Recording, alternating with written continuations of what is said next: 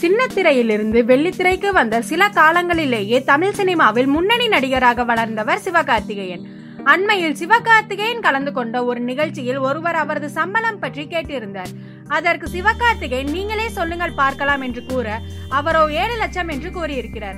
இதனை கேட்ட சிவகார்த்திகேயன் அதிர்ச்சி அடைந்து நான் மூன்றிலிருந்து நாலு கோடி வாங்குகிறேன் என்றார்.